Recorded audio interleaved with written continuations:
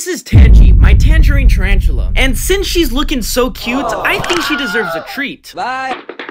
Bruh. Okay, that kind of didn't work. Let's go ahead and drop the cockroach on top of her web. As the roach wiggled around on the web, Tangy was able to pinpoint Brez's location and then pounce on the succulent cockroach. Oddly enough, the venom Tangy injected into her prey has already immobilized the cockroach, which makes sense since Tangy is an old world species of tarantula, so her venom is gonna be much more potent than a tarantula from the New World. For instance, a Caribena versicolor. Luckily for us, Tangy decided to stroll out of her web home, so that she can properly thank us for such a delectable treat. Thank you. However, since she is still a baby, it did not take long before she retreated back into her house.